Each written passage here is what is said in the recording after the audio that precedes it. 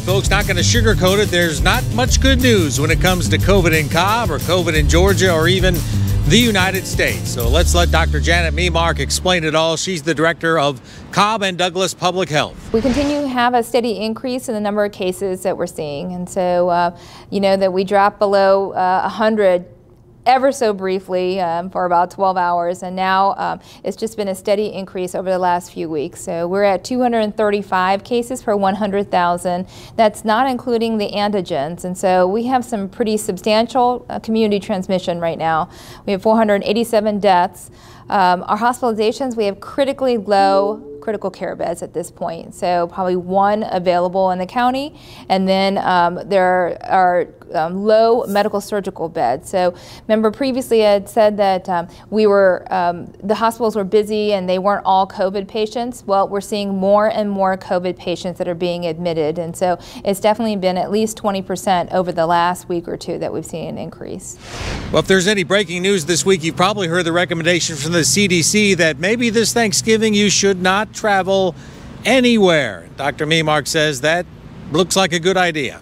We've been talking about it each week, so hopefully um, people have put their plans in place. And so um, there are several different um, guidelines to take a look at from the CDC, but we do fall into one of those um, that says if you have a yes here, then don't travel. So we have an increasing number of cases, and we had already a high rate of cases, and that continues to increase. And so um, we're on that kind of do not travel list for the CDC. And so I'm just reminding everybody that, you know, if you have people that are medically fragile or they're coming from areas that have very high rates like us, that, you know, you're definitely risking having exposure or exposing others to COVID at this time. So what's going on with COVID? Why are we heading to that second peak uh, this fall and early winter? Well, Dr. Memark says it's surging all over the place in Georgia, is one of 46 states that's heading in the wrong direction. You know, the, there's a surge throughout the nation right now, and when I read this morning, there were only three states that were not experiencing a surge. So we were definitely part of that.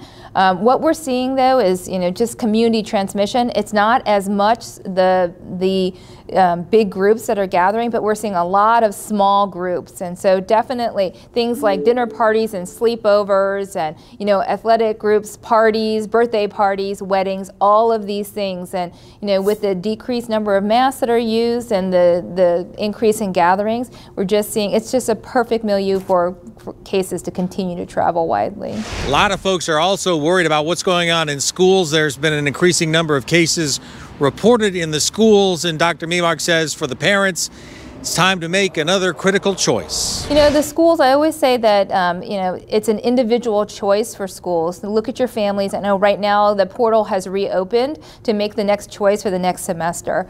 Um, everybody needs to look at their own school situation as well as their own family situation. So cases are definitely going up, and you will continue to see um, schools being disrupted by this. Now they've been doing a pretty good job of taking the kids out and the ones that are um, positive or staff members and then isolating them and quarantining that ring around them. But as cases go up, we will see more and more of that activity. So if you have um, children or staff members that have chronic medical conditions, I definitely would talk to your doctor about whether it's safe to be back in that environment.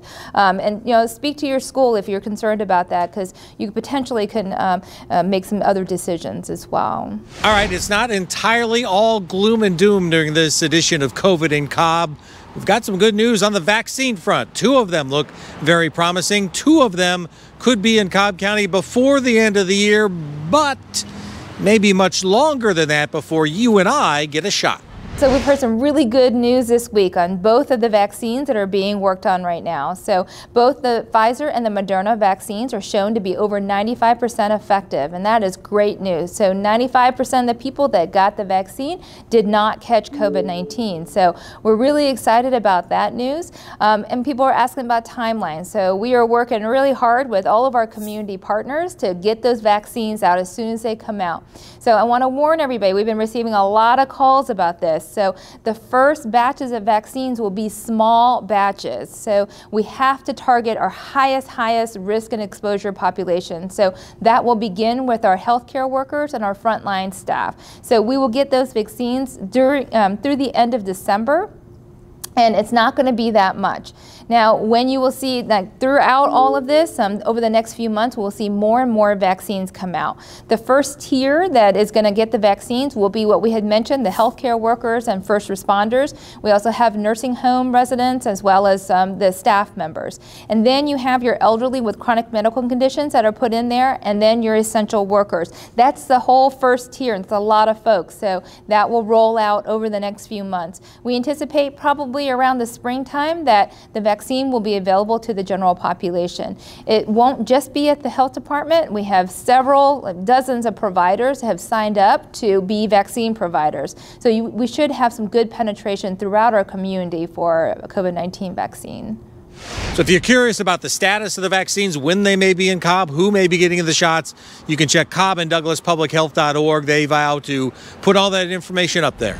Yeah, general questions about the vaccine, when it'll be available, questions. So we've, um, we're um, updating our website as well to have a bunch of answers and questions as well so that you can get some general information. And we'll put all of that on the website first. So that's where um, most of your information will come from.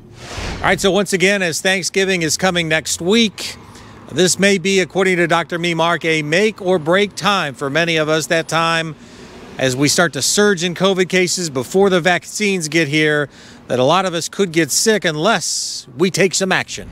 So this is a very important time. We are having cases that in many parts of the nation are rivaling the, the two surges that we had previously. We are definitely on the way up. At this point, we have some very substantial transmission that's happening in our community.